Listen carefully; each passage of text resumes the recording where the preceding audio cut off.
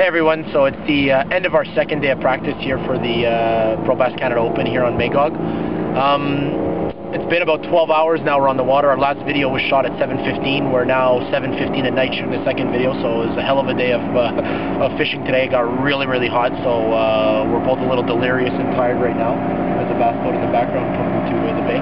Um, overall, day probably finished at about an 8 or 8.5 on 10, so we're actually really impressed with the way our practice day went. Uh, as we told you this morning, we started off with a really shallow pattern, figuring maybe we can catch some fish up shallower in the rocks on the shoreline.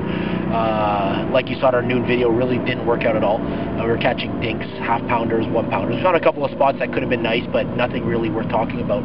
Um, like we told you at lunchtime, we figured we'd uh, switch it up, uh, go up towards the lake more in the Quebec area around Magog, and see if we can fish some deeper structures that we had planned out a little bit on maps uh, before we actually came down here. And it actually worked out pretty well. Nick uh, Nick caught a bass between four and a four and four and a half pounds, uh, deeper than 15 feet of water. So actually a really nice fish, by far his biggest fish on Magog.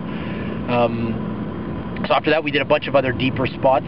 Didn't really work out. I mean, we found some nicer stuff, uh, but we're going to have to exploit it a little more on our third day of practice on the way back here to uh, to Newport, Nick uh, had a really good feeling of this one spot that we had looked at in the morning that uh, we actually caught a couple of largemouth open water on uh, in the main lake. So it wasn't fishing a bay or anything. We are actually fishing main lake, and we caught a couple of two-pound largemouth.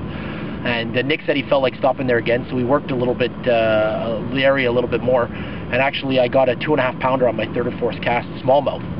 Uh, really chunky fish, really aggressive, jumped a lot. It was definitely a post-spawn, more of a summer pattern fish that was probably feeding on bait fish or whatever it was feeding on. And two, actually two casts later, I got one three and a half pounds, almost four pounds.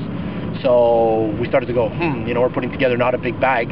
Uh, continued the area, caught another small bass, and we said, okay, that's it. We're going to explore the area a little bit more tomorrow. Not obviously the area we caught the fish, but a little further out and we'll see what happens. So, in uh, in a nutshell, to do a resume of the day, uh, started off slow. We changed up patterns because what we were doing wasn't working. It actually worked out pretty well, and we tried some new stuff that worked out.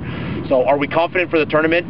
Who knows? We're only going to really find out tomorrow and actually on tournament day. Are we better off than we were yesterday with our zero bass in the first six hours of the day?